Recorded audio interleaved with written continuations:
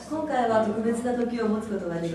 そしてその牧師さんと牧師さん夫人とそしていろいろなあの知り合いのとても神様を愛している方々と一緒に私のうちであの31日ですね。もう11時からから10時半ぐらいから礼拝始めてずっとお祈りをして12時になるまでお祈りしてああもう12時過ぎたっていうことでみんなであの明けましておめでとうございますとか一緒にお祈りをする時間をもとっても祝福されました。でその日あの夜の中にあ寝る前にですね神様にお祈りしました。神様が重要な夢を見ることができるように祝福くださいっていう思いを持って寝たんですけれどもあ実はですね夢を見たりました。でそれはとってもあの忘れられないそして印象的な夢を見たんですけどもその夢の内容はですね私の夢はあのこの世の中の夢でした。この世の中にあの大きなビーストレボレーションで出てくるビーストが出てきてそしてこの世の中はもっともっとだんだんだんだん混雑になっていって大変なところを通っているそういうあの時期があのこう来たっていうのをこういう意味で感じたんですね。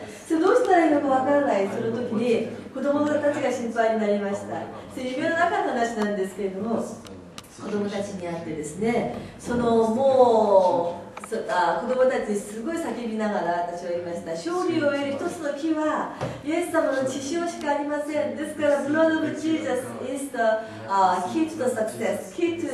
gain the victory. いろんあそのようなことをずっと芋の中で話しましてですね。そして明日朝パッと起きたんですね。そしてその朝思いました。あどうしてこの夢を見たのかなっていうふうに思ったんですけども本当に夢ですけれども実際的にもイエス様の血潮によってそして十字架の恵みによって私たちが救われそしてこの世の中で勝利を得るキーであるイエス様の十字架そしてイエス様の血潮によって私たちの罪の問題があの完璧にこう解決されたっていうのは神様に本当にたくさんの感謝と私たちの心からの賛美を差し上げればならないそういう神様の恵みがあると思います。皆様イエス様は私たちのために十字架におられそして本本当に私たちの罪のためにそして十字架の道を選択していきました。そしてイエス様の十字架の事件によって私たちがイエス様を信じて心に受け取るときにイエス様は私たちのあの罪を全部許してくださりそして永遠に滅ぶのではなくて永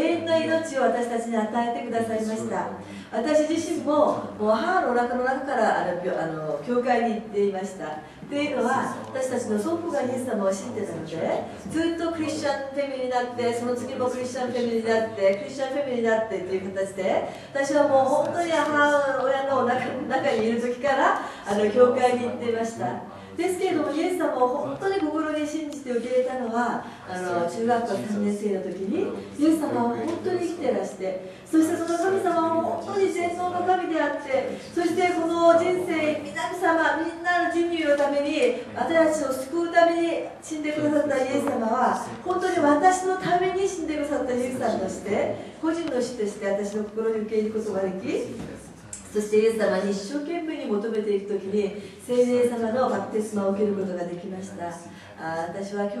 本当にイエス様にあの感謝をするのは本当に私たちのために死んでくださりそして永遠の命を与えてくださったその神様。その神様に私たちはもう死ぬまで。そしてもう永遠に賛美を捧げるとしてもそれはもう足りないくらい神様に感謝することは本当に私たちクリスチャンにとってあの義務でありそしてもうそれは毎日毎日そして私たちのそれはミッションだと思います、えー、私たちの私の家族の祖父はですねあのイエス様を信じました。あ私は5代目イエス様を信じるあのジェネレーションになったんですけれども私たちの子供のところに行くともう6代目になります。私のあのおばあさんのお母さんグレイクレンからですね。そしてそのお母さんの父親が韓国にいる時にそのマーケットプレイストに行ったそうです。そしたらそこでですねアメリカから来たあのミッショナリーがですねあの福音を伝えていたそうですそれですけども普通だったらそのままパッとあのもうあの買い物に行くそういうところだところだとあの聞きました。ですけれどもですねそのミッショナリーが放っていた話はとってもとっても力があってそしてもうそこでこう立ってですねずっと聞いてたそうです。ですけどその聞いてる間心が開かれそしてあの方が語っているそのイエス様は本当に真実な神様であり全頭の神あるというが心が開かれて信じるようになりました。そしてそのミッショナリーに私はイエス様を信じたいです。あなたが信じてるその神様を受け取りたいですって言った時に聖書が与えられたそうです。そしてその聖書をアメリカのミッショナリーからもらった聖書の持ってうちに帰ってあのうちの家族にその家族に宣言したそうです。これからは私たちが学んでいたその祖父が信じてるそういう神を信じるのではなくて今日私がマーケットプレイスで与えられたこの聖書通りに来るようにする。この聖書にあ現れている神様は全能の神様であって本当に生きてる神様であって私は今までこのような平和を感じたり力を感じたことはないっていう宣言したそうです。その後イエス様をもうみんなの家族が信じるようになってそれから大きな祝福を受けられました。そしてその私のあのグレンマードですね。のマダーですからグレイグレンマードですね。その方は本当にですねすごい信仰の人になりたくさんの人に伝道することができその伝道をすることによってたくさんの方々が牧師になりました。そしてですね神様から与えられたギフトの中でヒーリングあの何ですか？あのギフトがあって。それでお祈りをした時にあの盲人があの治されたりそしてもうあのヘンディキャップいつも座ってた人がもうあの立てられたりそしていろんな病気になっている方があの治されてそして神様の見舞いに来ることができましたですけれどもですねそのグレイあのグレイマダムはですね私が小さい時にも本当に長い間住んでらしたのであの90を過ぎてですねもう本当に神様から与えられたビジョンがあったということですそれはですねいつも自分の家がその天国のその自分の家がこう建てられていてもうすぐするともう全部完璧に建てられるっていうことなんですそして私小さい時にそのおばあさんの話を聞いてたらですねそしたらそのおばあさんが言いました。ですけれどもあの神様が私のところに戻ってきてそして私を天国にあるそのうちに移さない理由が一つあるんですけれどもその一つは、今まで神様を信じながら信仰的に高慢な部分そして自分はよくあの他の人よりよく信じているっていうそういう信仰的な面で高慢な部分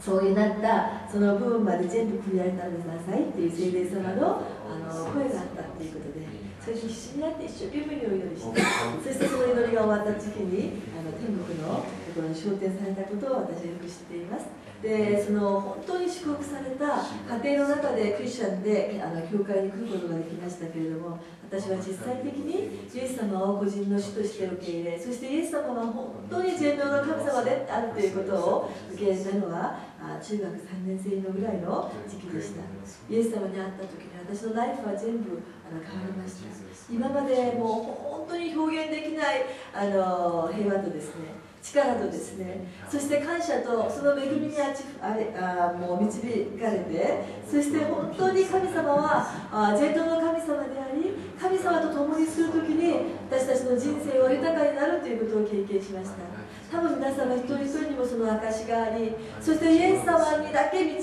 そしてイエス様だけが私たちの命そしてイエス様だけが力でありそしてイエス様だけが本当に私たちに真の平和を与えてくださる神様だということを私たちはみんなで一緒に告白することができます。イエス様を信じてですね私たちのクリスチャンとしてやるべきことは何でしょうか？心から感謝することです。心から賛美することです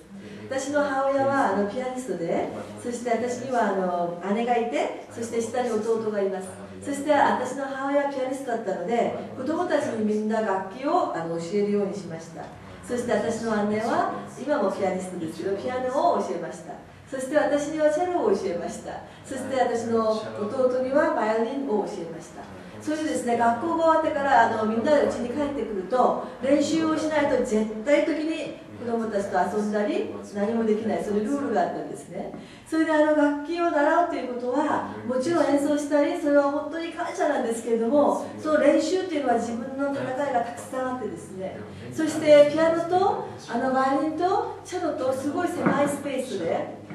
あのみんなでこの同じ時間に練習に入るとですねチェロが一番あの音が弱いんですっていうのはロートーンなのでそして自分で練習しているのがあんまり聞こえないっていうかそして私の弟はあの自分あのあのお友達と遊びに行きたいんだけれども母親に怒られるのでそれで何回